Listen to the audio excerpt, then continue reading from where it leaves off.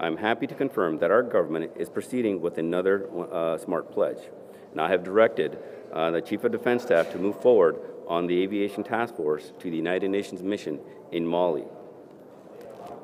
The task force will include two Chinook helicopters, which will provide much needed transport and logistics capability, as well as four armed Griffin helicopters for armed escort and protection. The deployment will come with a number of troops from the Canadian Armed Forces who will facilitate medical evacuations for troops on the ground and provide logistical support for that mission. And General Vance is working with our partners to define the mission requirements for the, uh, uh, for the ATF.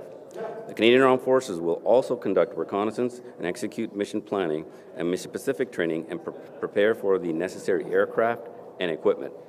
This process is underway, and, uh, and talks have begun with the United Nations to determine an appropriate uh, deployment date. We look forward to deploying uh, the Air Task Force once this process is completed. So, ladies and gentlemen, today's announcement of the Air Task Force to Mali is yet another example of our government's commitment to engaging the world. Whether it's leading a uh, NATO, uh, NATO multinational battle group in Latvia, providing military training in Ukraine, or contributing critical assets to the United Nations peace operations, as we have announced today. today. And Canada continues to lead on a global peace and security. And with that, I open up to questions. Thank you.